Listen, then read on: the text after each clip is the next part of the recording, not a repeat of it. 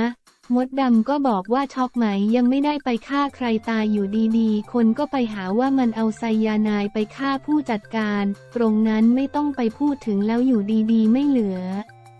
เอาแค่เรื่องพ่อแม่ก็ช็อกแล้วเดี๋ยวจะต้องเรียกนางเอกร้อยล้านมาให้ปากคำไอ้นี่ก็สั่นยิ่งดูข่าวยิ่งสั่นแคนเซิลหมดทุกอย่างแม่ยังได้ย้อนอดีตที่ไอต้องเจอทั้งการโดนบูลลี่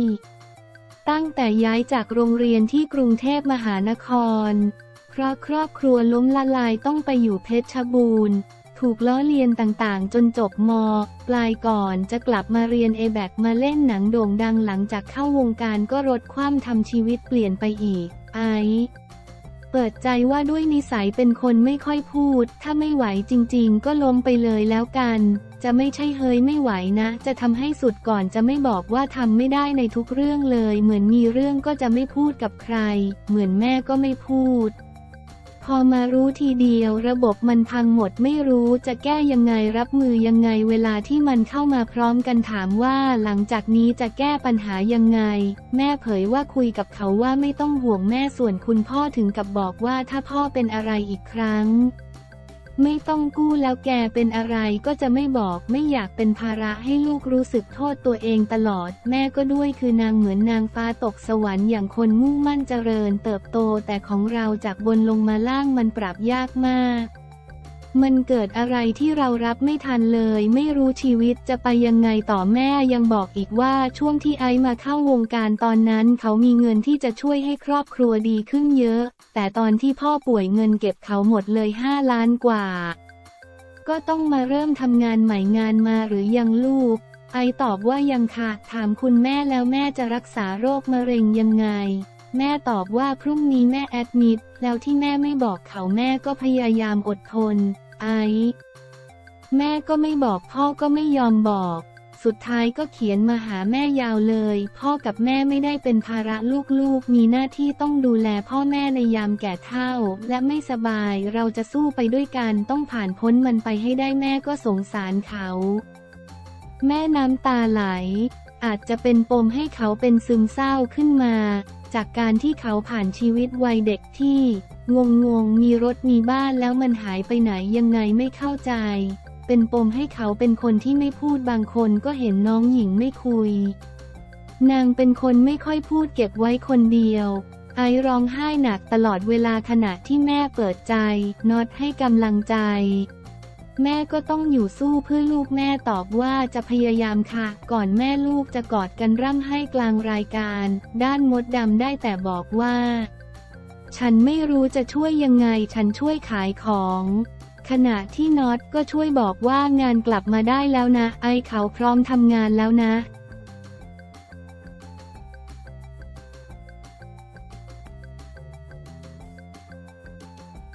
ธัญญ่า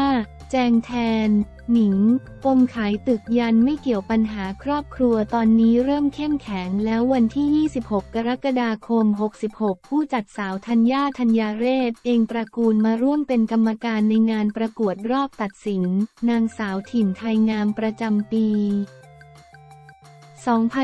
2566 ที่โรงแรม S Park Hotel พร้อมกับหนิงปณิตา แต่หลังจากประกาศผลหนิงได้เดินทางกลับทันทีไม่ได้ให้สัมภาษณ์เตแต่อย่างใด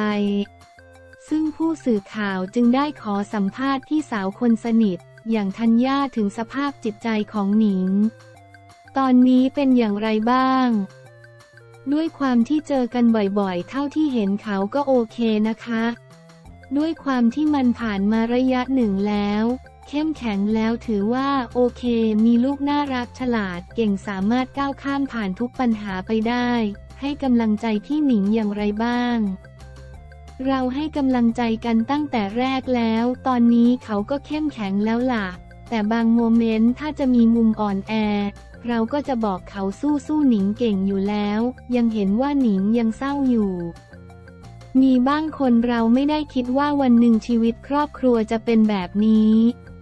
เราก็ให้กำลังใจกันอยู่ด้วยกันเรื่อยๆ ทั้งไปอัดรายการมีอะไรเราก็จะอัปเดตกันหรือไม่ก็ไลน์คุยกันเรื่องคดีมีการอัปเดตกันไหม เวลาก่อนไปศาลจะไลน์คุยกันว่าวันนี้มานะ เราก็จะถามไถ่ก็รอบหน้าก็ต้องดูกันว่าจะเป็นยังไง หนิงเครียดไหม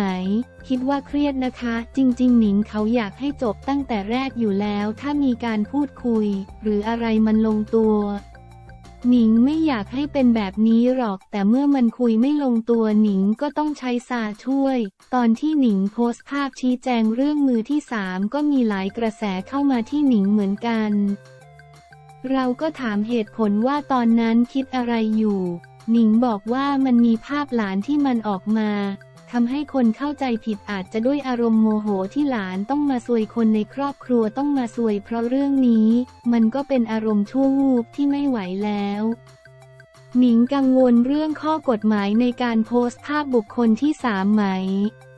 ที่อาจจะมีการฟ้องร้องกัน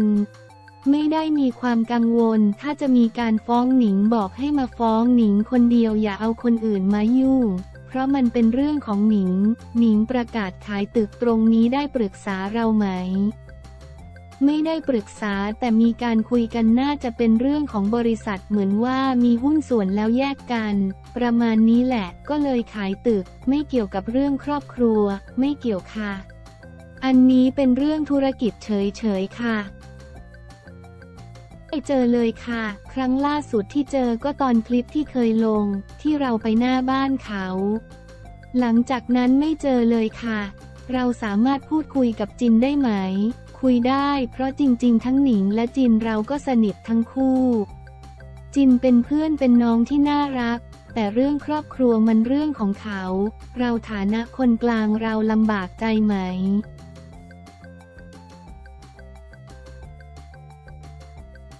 ไม่นะคะ เราเข้าใจปัญหาครอบครัว มันเป็นอะไรที่กำหนดไม่ได้ว่ามันจะต้องเป็นอย่างโน้นอย่างนี้ เขาก็เป็นคนใกล้ชิดเราทั้งคู่ เพราะฉะนั้นการที่จะมีฝ่ายใดฝ่ายหนึ่งมาปรึกษาเราก็ให้คำปรึกษาในฐานะที่เราโตกว่า อาจจะผ่านมรสุมชีวิตมาก่อน อะไรก็ตามที่เขาอยากจะปรึกษาเราก็เข้าใจ เราเคยผ่านมาก่อน ฝั่งคู่กรณีหนิงยังมีฝากสารอะไรมาให้เราเป็นคนกลางถึงหนิงอีกไหม ตอนนี้ไม่มีค่ะ มีการคุยกันทีเดียว แล้วก็ไม่มีการโทรอะไรกันแค่นั้น